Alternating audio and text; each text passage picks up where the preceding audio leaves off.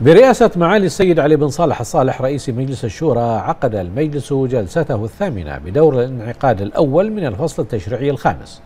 وقد رفع المجلس أسماء آيات التهاني وتبريكات إلى حضرة صاحب الجلالة ملك البلاد المفدى والحكومة الموقرة وإلى معالي القائد العام لقوة دفاع البحرين وجميع منتسبي قوة دفاع البحرين بمناسبة الذكرى الحادية والخمسين لتأسيس قوة دفاع البحرين.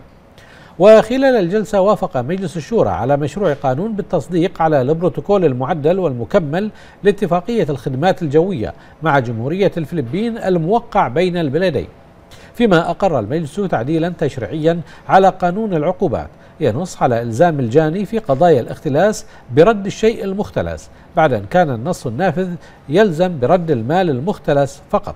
كما لم يوافق المجلس على تقرير لجنة الشؤون المرأة والطفل بخصوص مشروعين بقانون بتعديل بعض أحكام قانون الطفل.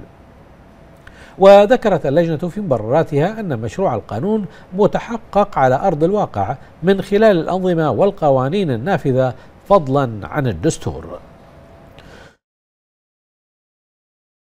كان في ثلاث بنود بينما البند الأهم ولا علاقة بال العمل التشريعي تحديدا كان مناقشة تعديل المادة 424 من قانون العقوبات.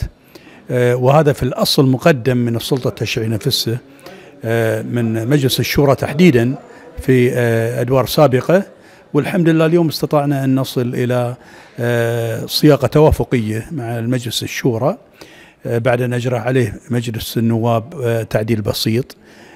تم التوافق جزئيا مع الإخوان في في النواب وإن شاء الله أنه يمر خلال لنقل الأسابيع القادمة من مجلس النواب ويصبح آه، قابل للتنفيذ. ناقش مجلس الشورى اليوم آه، إضافة فقرة جديدة تعديل على الماده 424 من قانون العقوبات وذلك التزاما بالاتفاقيه اتفاقية الامم المتحدة لمكافحة الفساد والتي أصبحت البحرين طرفا فيها بموجب القانون رقم 7 لعام 2017 هذه الاتفاقية تطلب من الدول اتخاذ تدابير برد المال المختلس سواء كان من اختلس هذا المال موظف عام أو, أو في القطاع الخاص.